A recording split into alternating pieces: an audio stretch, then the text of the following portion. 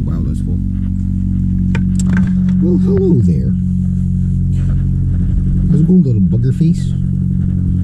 So, you thought you would get away with crawling around my house, making all kinds of noise all night, stealing my food, pooping all over the place, hanging out with your buddy. You're not even listening to me.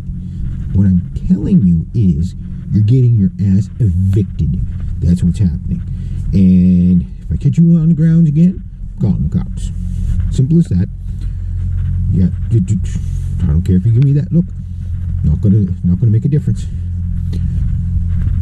Yeah, you better grab a couple more bites before I kick you out of here, because that's all you're gonna get. He's like, but it's my banana peel. All right, get lost. Today, come on. Come on. Yeah, there you go. See ya. There you go. I'll leave you the banana peel. Can't believe how well banana peels actually work to catch mice. Cake, chips, and banana peels. Now, normally, the secret weapon is peanut butter.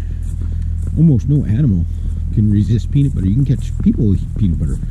Uh, but my mice, they don't seem to like the peanut butter. Weird, very weird. What's that say about the peanut butter? Uh, God knows what's in it.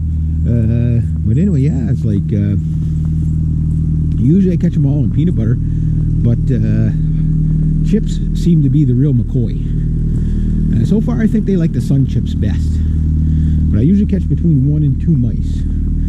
Yesterday I didn't catch a mouse, but usually I catch about uh, what do you call it? Two mice, one to two mice per capture. My best capture I think was five mice in one night, but that was a couple years ago. So I should be getting, should be getting, they should be getting down there because, uh, well, I mean, how many mice are in there? be surprised that. Oh, smack myself at the door.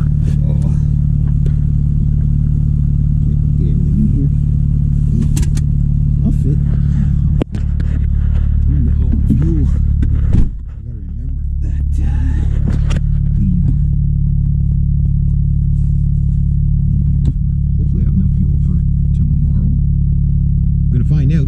All right, anyway,